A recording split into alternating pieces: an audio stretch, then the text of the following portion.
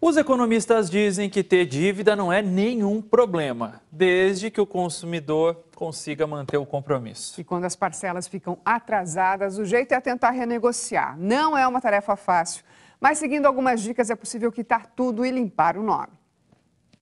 Tatiana usou o cartão de crédito pela primeira vez há nove meses. No segundo mês, decidiu pagar só o valor mínimo. E aí se viu engolida por uma bola de neve. Hoje já está em 3.100 e pouco.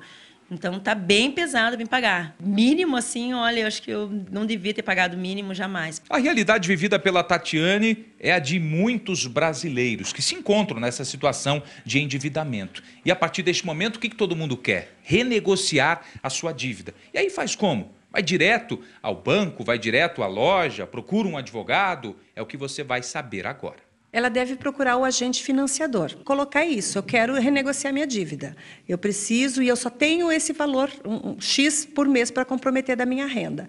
Se o diálogo com a empresa não der resultado, procure o PROCON. Dá para negociar sem sair de casa pelo site consumidor.gov.br. Após registrar a situação, a instituição tem 10 dias para dar uma resposta. Agora vai mais uma dica da economista. Procure a renegociação já no primeiro mês que você não conseguir pagar a dívida, hein?